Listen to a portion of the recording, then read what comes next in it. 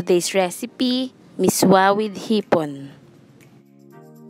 Ingredients. Hipon.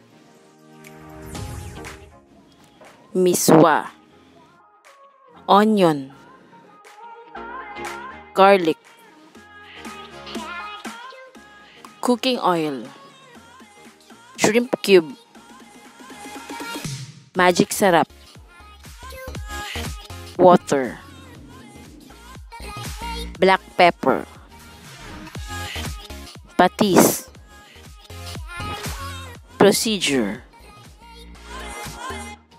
First step, magpainit ng kaserola. Second step, maglagay ng mantika.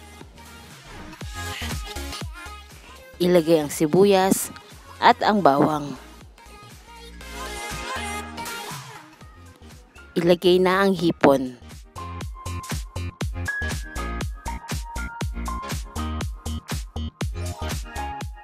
Budbura ng paminta. Ilagay na ang tubig at pakuluan ng 5 minutes. Ilagay na ang shrimp cube. Bura ng magic sarap. Lagyan ng patis kung matabang pa ito. Ilagay na ang miswa.